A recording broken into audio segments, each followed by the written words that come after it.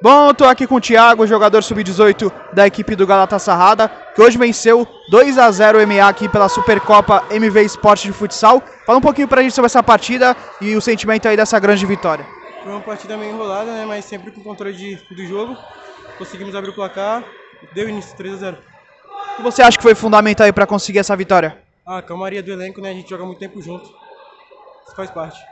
Você fez um gol e vai querer dedicar esse gol aí pra quem? Pra minha mãe. Pra minha mãe.